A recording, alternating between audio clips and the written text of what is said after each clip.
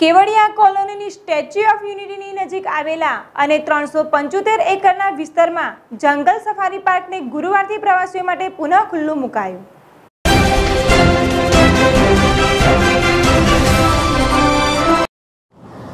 જંગલ સફારી પાર્કના મદદનીશ વન સંરક્ષક રવિરાજસિંહ રાઠોડે જણાવ્યું હતું કે હાલ સરકારની કોવિડ નાઇન્ટીનની માર્ગદર્શિકાને ધ્યાને લઈ જંગલ સફારી પાર્ક માટે પ્રવાસીઓ online ticket, W W SOU tickets in પરથી બુક કરાવી શકશે.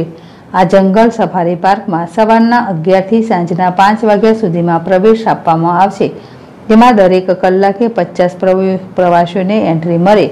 એ મુજબ પચાસ ટિકિટનો સ્લોટ રાખવામાં આવ્યો છે, જેની પ્રવાસીઓને નોંધ લેવા ખાસ વિનંતી કરાઈ છે. વધુમાં રાઠોડે ઉમેર્યું હતું કે તારીખ પહેલી ઓક્ટોબર બે હજાર વીસના રોજ પ્રથમ દિવસે સવારના અગિયાર વાગ્યા સુધીમાં પંચાવન ટિકિટ બુક થયેલ છે અને પ્રવાસીઓ આવવાના શરૂ થઈ ગયેલ છે. પ્રવાસીઓ વન્ય સૃષ્ટિના વિવિધ પ્રાણીઓ જોઈને આનંદ મેળવે અને સ્વાસ્થ્યનું ધ્યાન રાખે. તેની સાથોસાથ પ્રવાસીઓ માસ્ક પહેરે, સોશિયલ ડિસ્ટન્સ જાળવે અને સેનિટાઈઝરનો ઉપયોગ કરે તેની ખાસ તકેદારી રાખવામાં આવતી હોવાનું રાઠોડે જણાવ્યું હતું.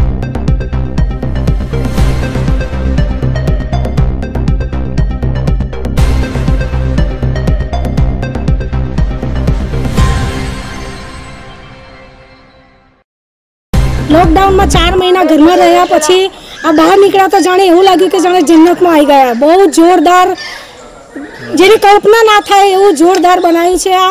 બહુ મસ્ત છે, બહુ જ મજા આવી ગઈ સફારી ગાર્ડનમાં ફરવાની. હજી તો આગળ અમે ફરીએ છીએ. અત્યારે આટલું બહુ જોરદાર છે.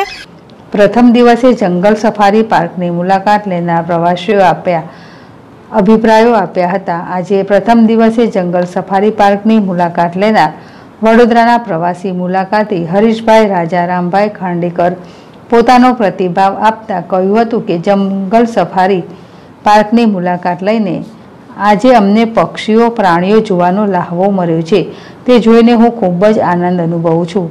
તેની સાથોસાથ માસ્ક, સોશિયલ ડિસ્ટન્સ જળવાઈ રહે અને સેનેટાઇઝરનો ઉપયોગ થાય તેની કાળજી રાખવામાં આવતી હોવાનું તેમણે જણાવ્યું હતું. અન્ય પ્રવાસી દીપકભાઈ રાજપૂતે જણાવ્યું હતું કે અમે કોવિડ નાઇન્ટીનના લીધે ઘરે જ રહ્યા હતા, પરંતુ જંગલ સફારી પાર્ક ખુલશે તે સાંભળ્યા બાદ અહીં બાળકો સાથે આવવાનું નક્કી કર્યું. આ સ્થળની મુલાકાત લઈને આજે અમે ખૂબ જ આનંદની લાગણી અનુભવીએ છીએ. તેમજ બીજા લોકોને પણ આ સ્થળની મુલાકાત અચૂક લેવા તેમણે જણાવ્યું હતું. તે જ રીતે પ્રવાસી મુલાકાતે શ્રીમતી નેહાબેન જોશીએ કહ્યું કે લોકડાઉનના સમયમાં ઘરે જતા, પરંતુ આજે જંગલ સફારી પાર્કમાં ફરીને ખૂબ જ મજા આવી અને આ જંગલ સફારી પાર્કમાં તમામ વ્યવસ્થા હોવાનું પણ તેમણે ઉમેર્યું હતું. દીપક જગતાપ, જેડેશ ટીવી, રાજપીપરા.